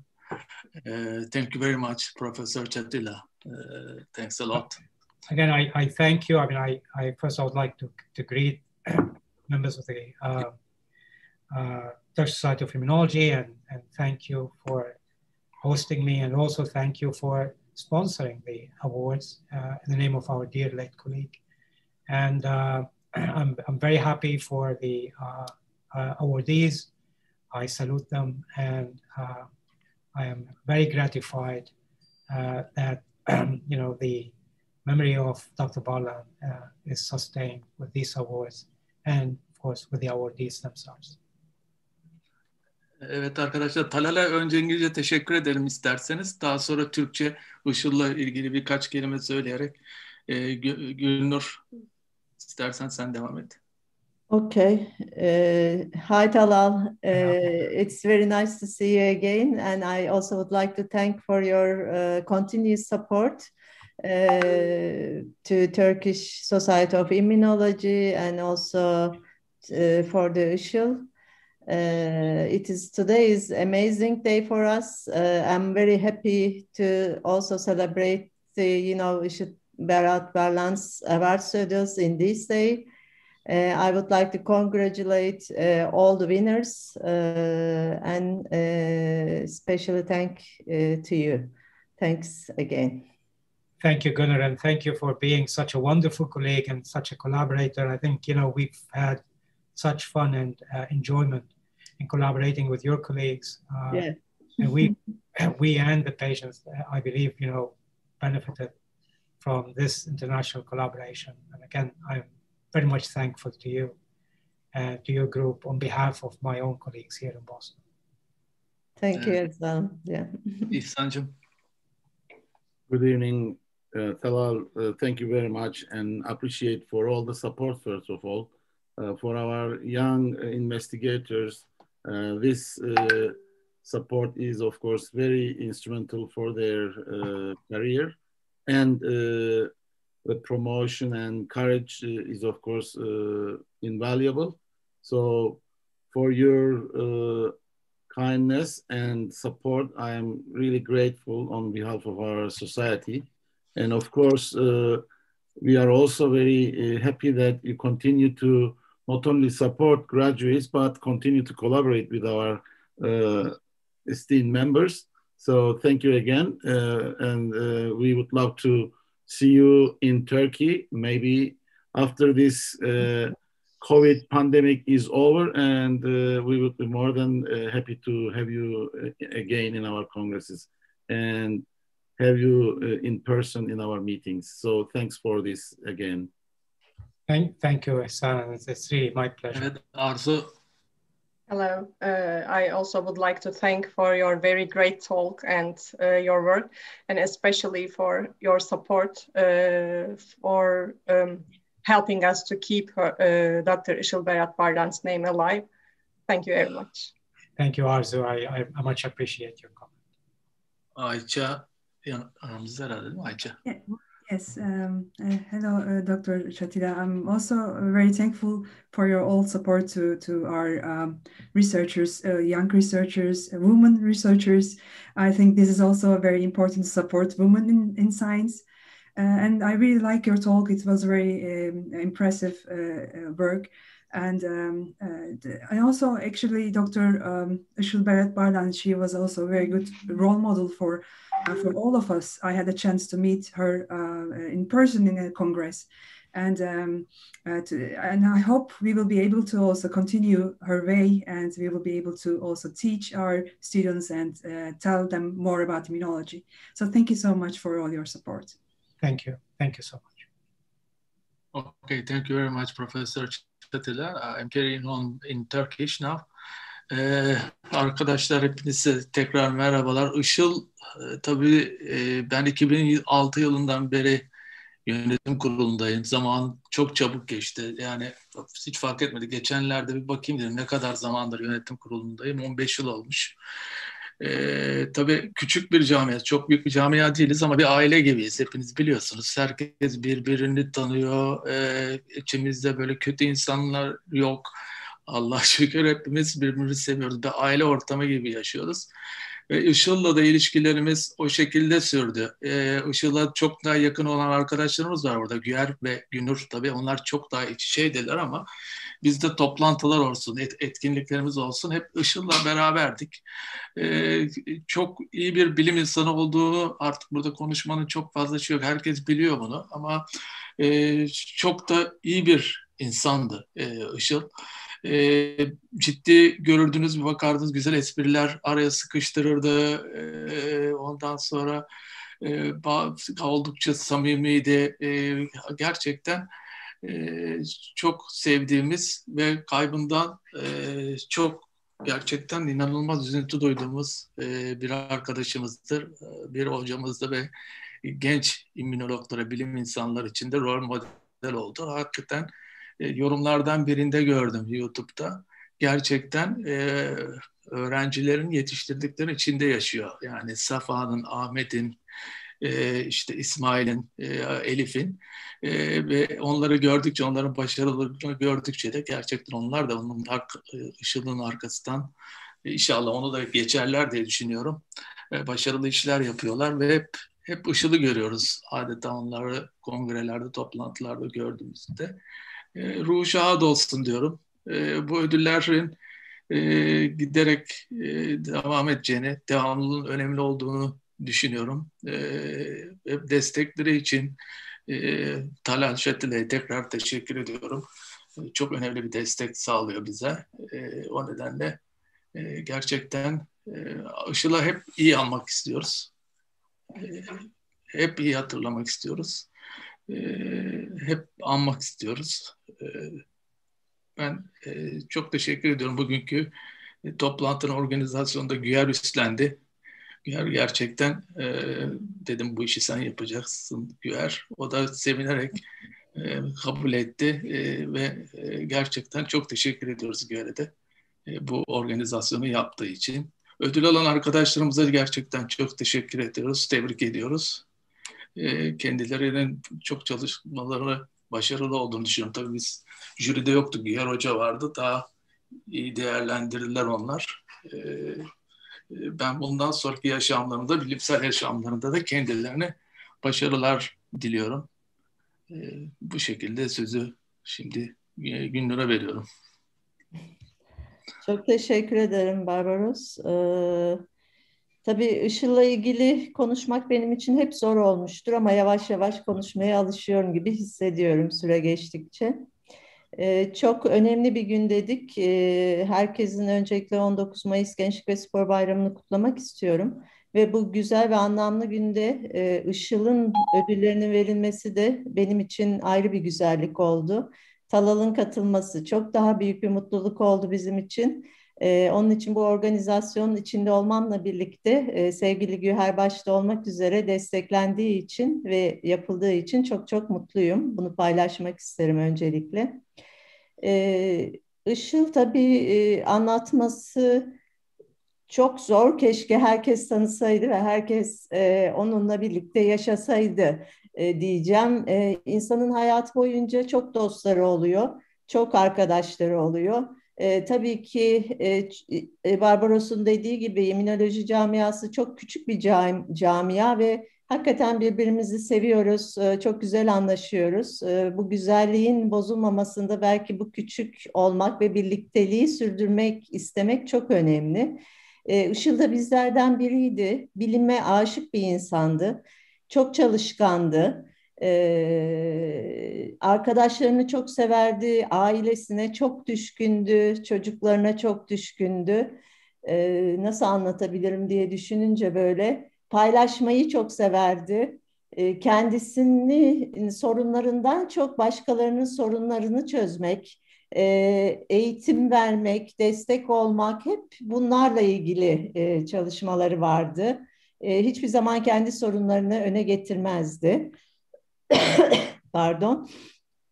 E, tabii çok anılarımız oldu. E, çok mutluyum. E, iyi ki anılarımız olmuş. İyi ki Işıl'la bu güzellikleri paylaşmışım. E, tabii sevgili Talalı daha önceden tanıyordum ama benim bunu bir yerde daha anlatmıştım. Belki ikinci kez olacak ama e, hep Harvard Medical School'a gitmek isterdim. E, son gezimiz Işıl'la birlikte oldu. Hatta sevgili Okan da bize katılmıştı. E, neden Talal'a yazmıyorsun? Seni hemen kabul edecektir dedi. E, ve onun teşviğiyle ben e, sevgili Talal'a yazdım ve Talal kabul etti. Beş hafta birlikte e, geçirdik. Boston'da sevgili Talal Çatırlan'ın laboratuvarında ben çalıştım. O da e, başka bir laboratuvarda çalışıyordu ama hep birlikteydik. Ve bu e, çalışma sürecinde sevgili Okan da dönem dönem bize katıldı. Arkadan çok güzel bir şey yazmış. Onu da şimdi soracağım konuşmamın e, sonunda. Tabii ki çok güzel anılar biriktirdik sonuçta. Ee, insanın herhalde e, iki şey önemli. Bir geride neler bıraktığı hayatı boyunca eğitim açısından, bilim açısından. İkincisi de e, sevdikleriyle yaşadığı anılar diye düşünüyorum. Benim immün yetersizliğe girmeme de neden oldu. Alerji çalışıyorsun, bırak alerjiyi, immün yetersizlik çalış diyordu hep. Onun sayesinde immün yetersizliğe de girdim. Çok mutluyum, iyi ki girmişim. Bir vesile oldu. Ee, anlatmakla bitmeyecek gibi ee, ben kendisini rahmetle, sevgiyle, özlemle anıyorum. İlk önce hep kızıyordum niye bırakıp gittin bizi diye. E, şimdi ise şöyle diyorum, gitmek istedi, umarım orada mutludur diyorum. E, dediğim gibi sevgiyle anıyorum. E, bu arada tüm kazanan e, ödüllerimizi kazanan arkadaşlarımızı da tekrar tebrik etmek istiyorum ben de. Ee, çok güzel ödüller. Ee, inşallah ödüllerin e, devamını da sizler getirirsiniz gençler olarak. Bu bayram dolayısıyla gençlerin bu alanda da e, daha e, söz sahibi olmasını bizler çok istiyoruz. Tabii sevgili Talal'a da bu desteklerinden dolayı çok çok teşekkür etmek istiyorum. Ee, iyi ki varsın diyorum Talal'a da. Ee, Okan, e, Amerika'da çok güzel vakit geçirmiştik. Tabii e, sonraki olaylardan sonra ben de çocukları fazla göremiyorum ama sevgili Okan'ı da sevgili Yasemin'i de çok özlüyorum. Onlara da buradan sevgilerimi iletiyorum. Okan is asking a question, Talal. Uh, maybe you might also share some of the stories uh, because he says uh, My question will be irrelevant because unfortunately I'm not familiar with the subjects you are telling. Uh, when can I meet and hear a few stories about my mother? I don't know whether uh, he, he wrote it in English. Maybe uh, Talal would like to say a couple of words. If not, it's okay.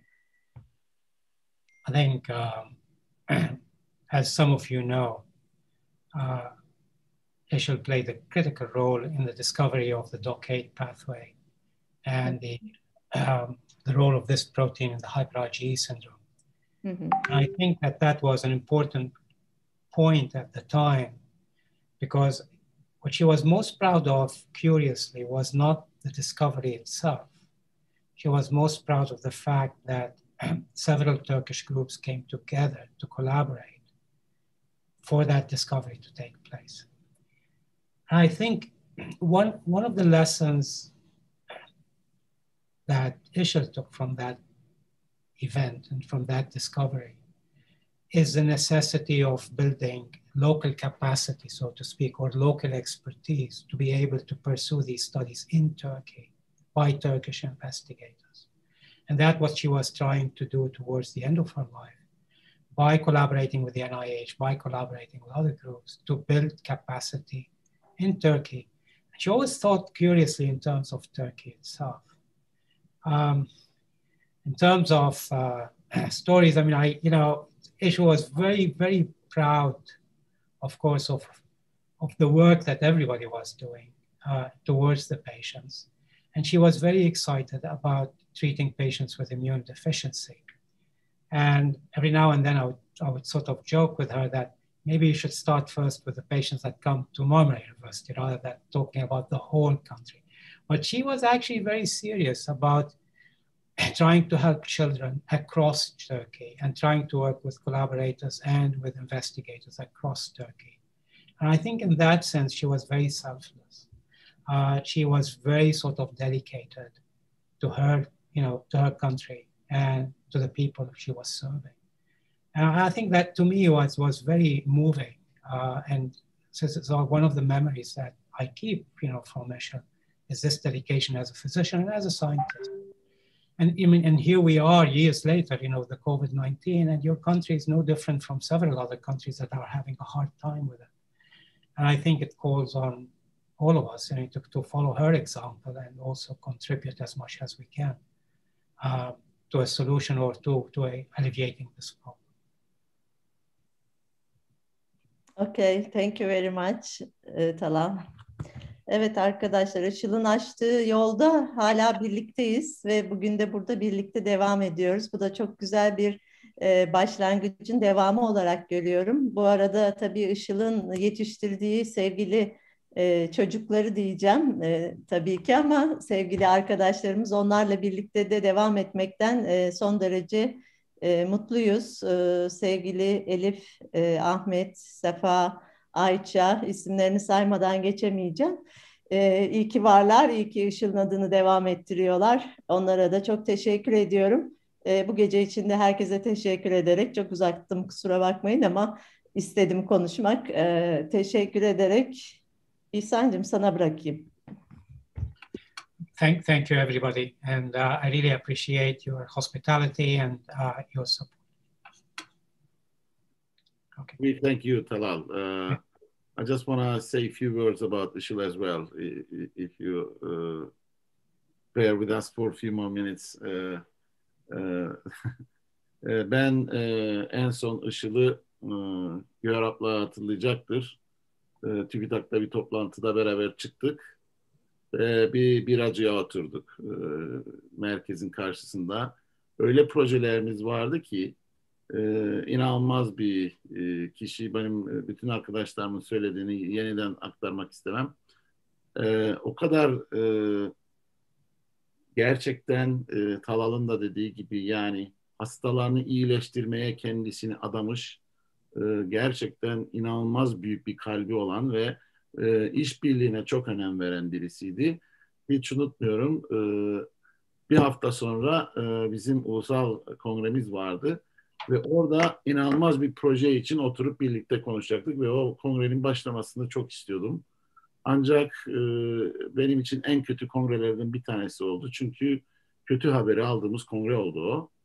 E, yani e, gerçekten e, Gündür sen de dedin e, benim de primerimin yetmez diye e, geldiğimden beri Türkiye'de bir şeyler yapılmasını isteyip çabalayan birisi olarak Işıl'ın bu e, bizi e, cesaretlendirmesi sayesinde ve o başlatılan NIH e, projesi sayesinde onu bir yere getirmeye çalıştık ve e, onun adına bu işi yürütmeye çalıştık ve e, primerimin yetmezliklere de çaba sarf ettik, e, ediyoruz. Ancak bunu bir tek Işıl'ın e, bu vizyonu sayesinde e, başarabildik.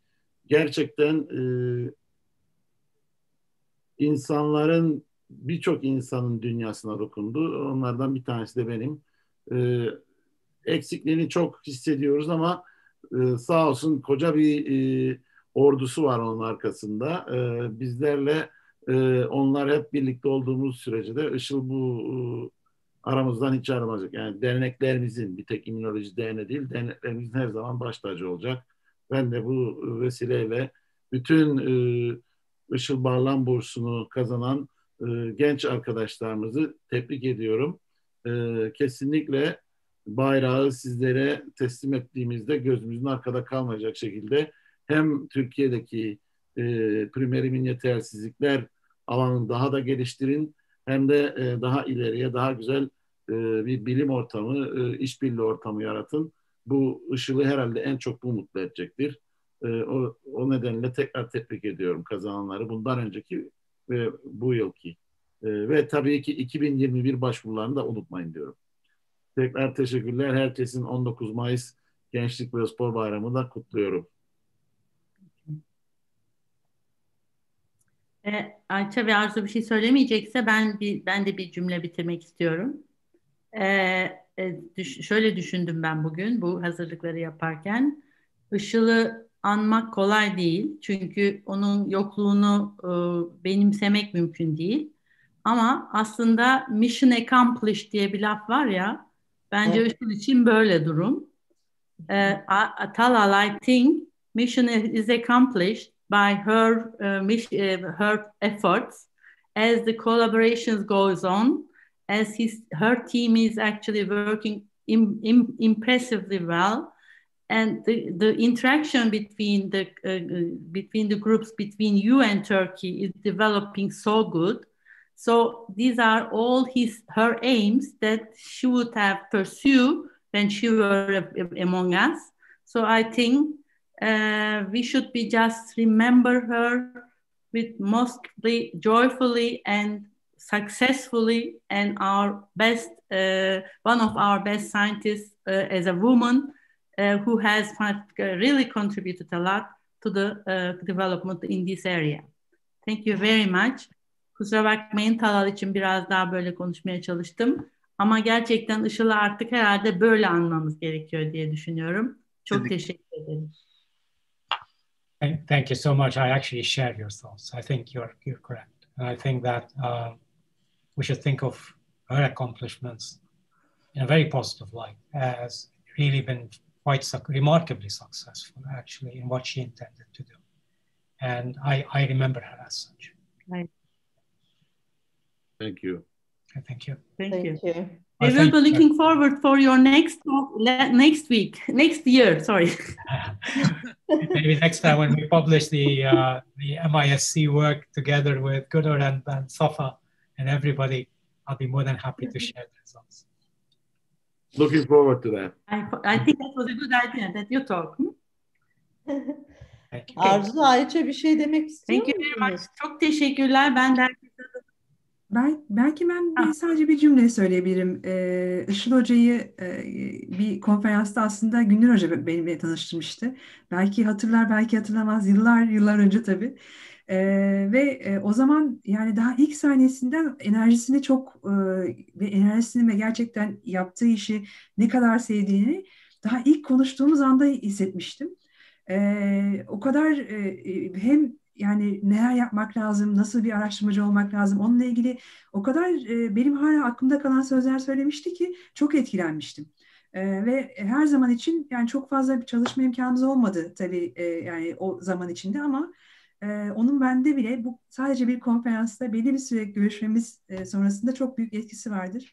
E, ben de tebrik etmek istiyorum bütün ödülü alanlara. Daha önceki senelerde bu sene ve sene, daha sonraki senelerde alacaklara e, gerçekten çok bir, büyük bir gurur olduğunu düşünüyorum bu ödülü almış olmanın. E, biraz önce de söylediğim gibi kadınlara da ayrıca bir ödül verilmesi belki hani e, cinsiyet ayrımcılığı gibi gözükebilir bir yandan ama çok önemli. Yani kadının bilimdeki yerinin e, önemini göstermesi açısından o da çok e, çok e, yani Talat Çatıran'ın destekleri bence çok değerli. Teşekkür ederim. Ee, ben de sadece bir iki şey ekleyeyim. Ee, benim Işıl Hoca'yı tanımam aslında birebir tanımak değil ama e, kendisinin bir tıp fakültesi açılışında yaptığı konuşmayla olmuştu. Ben immünolojiden bağımsız şekilde o konuşmayı dinleyip çok çok etkilenmiştim. Bize örnek bir konuşma olarak dinletilmişti o. Ee, ve hep de orada dinlediğim şeyleri e, bir hoca olarak, bir öğretim üyesi olarak, bir hekim olarak örnek almaya çalıştım ben de. tüm kazananları kutluyorum kendisini de saygıyla, sevgiyle anıyorum. Ve özellikle de evet tüm diğer hocalarıma da e, tabii ki ama e, Güher hocama ve Günür hocama çok teşekkür ederim. E, adını yaşattıkları ve yaptıkları bütün her şey için çok teşekkürler. Evet. Güher en son sen kapatacaksın. Evet programı. ben kapatayım o zaman. Ee, kapatmadan önce tek bir şey. Ee, ben de e, bayramımızı kutluyorum aynı zamanda. Bayramın ismi Atatürk'ü Anma Gençlik ve Spor e, Bayramı. Atatürk'ü de almayı e, unutmuyoruz arkadaşlar. Ben bunu da hatırlatayım. Atatürk'ün izinden ayrılmayacağız. Onu da burada hatırlatmak istedim. Herkesin bayramını ben kutluyorum. Çok, çok teşekkür ediyoruz katılanlara. Buyur Güher. Çok Söz senin. Çok çok teşekkürler. Evet ben de bütün e, ödül, alanları tekrar tebrik ediyorum. E, Talala bize katıldığı için çok çok çok teşekkür ediyorum. Dinleyip bu saate kadar kalanlara ve sorularını soranlara çok teşekkür ediyorum. Tabii ki Atatürk ve gençliği bu güzel günde e, bu kutlama çerçevesinde anmak istiyorum ve onları tabii ki memnuniyetle izliyoruz gençliği diye bekliyorum. Nitekim bu bizim ödüllerimizde gençliğin ödülleri diye bu e, kontekste uydu diye düşünüyorum. Daha fazla uzatmak istemiyorum. Çok çok teşekkür. Tala, thank you, thank you very very much. Thank you, thank you everybody again. Thanks a lot. See you next, thank you. next time in AG, AG 2000, AG 21. İnşallah. Take care. Thank you. Bye bye. Bye bye. bye. Herkese iyi akşamlar. İyi akşamlar. İyi akşamlar.